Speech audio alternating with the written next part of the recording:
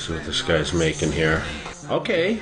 Ah, it's a good leg. Pre- oh, get some cinder blocks on that bad boy. Damn, okay, that's impressive. See, when I watch videos like this, I actually, this makes me realize that people that are passionate about weight training, they will find a way. Like we complain about not getting to the gym, and look at this guy, he's makeshifting everything here. Yep, doing the farmer's walk. He's training on the farm, man.